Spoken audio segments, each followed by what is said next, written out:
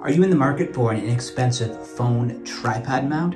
I'm going to talk about two that I've recently purchased and I'm going to give you my recommendation of which one is better. So there's two choices that I want to share with you today.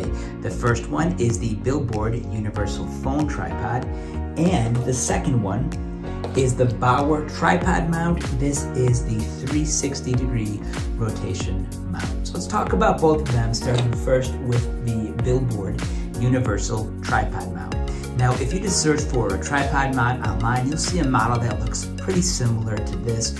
It's just a mount which will allow you to extend a little bit, put your phone here, and then you can shoot in landscape mode. This stand is, is, is good. You can use this as a way to prop this up. It's very small though, so I tend not to use this very much, but it is something that does come with the billboard mount. Now, like I said before, on here, you can extend this mount to fit your phone in.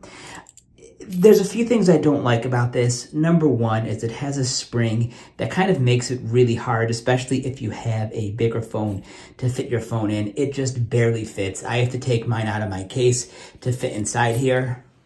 So here's an example. This is my iPhone 13 case. It's a real struggle to fit my case inside here.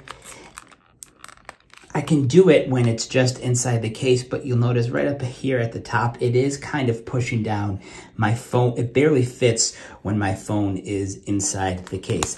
The other thing about this is it feels just kind of cheap. I know that this is a nice feature to have, this, this smaller portable um, tripod mount, but I tend not to really use this very often. I have a regular tripod that I'll just take this off, unscrew this on, and just add this onto my regular tripod. So that is the Billboard Universal Tripod Mount. It's worked okay for me, but I feel that the better option is right over here.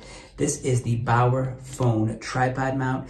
This is $5, which you can find at Walmart. Sometimes you might be able to find it for a little less than $5. And what I like about this is just the feel of it. It feels a little less flimsy than the billboard one.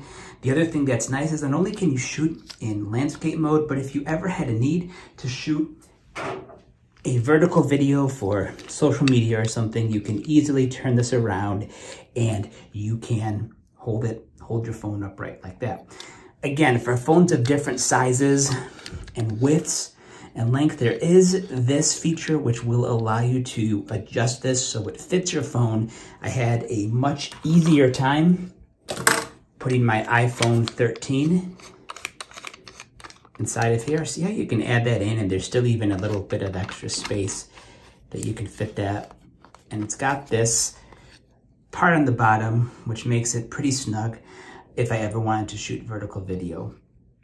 So between this feature, the option to rotate this in any direction, that 360 rotation, I feel that this mount, the Bower phone tripod mount, is the best option to go if you just have a few dollars and you're looking for a way to purchase an inexpensive tripod mount. Again, you can find this online at Walmart or in person.